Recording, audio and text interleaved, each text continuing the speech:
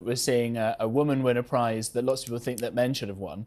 Whereas far too often in sports now, we're seeing yeah. men who say they're now women it's taking like, prizes like, off biological. It's like Alexa, you keep sort of saying, "To see how you like it now." Yeah, what, what, what I, I take so, that point. What I think is so remarkable about this is when women have said, "Oh, it's not really fair. We don't get paid the same. Oh, it's not really fair. We never get a chance to win these awards." Men like, "Oh, you toxic feminist! Look at you.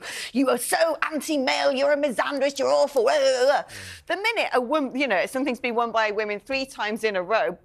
blimmin' heck, men get prickly about yeah, it, don't they? But the problem we do have here is when you don't have a meritocracy, when things are being done for tokenistic value alone, then when a woman woman does deserve something, this whole debate ensues. We don't get to just enjoy it and keep it. By the way, uh, on uh, social media, the, viewers of the, this program, uh, BBC Sports Personality of the Year, descended on it. They were furious, uh, partly uh, because it was always a huge event on a Sunday night. It used to be like at the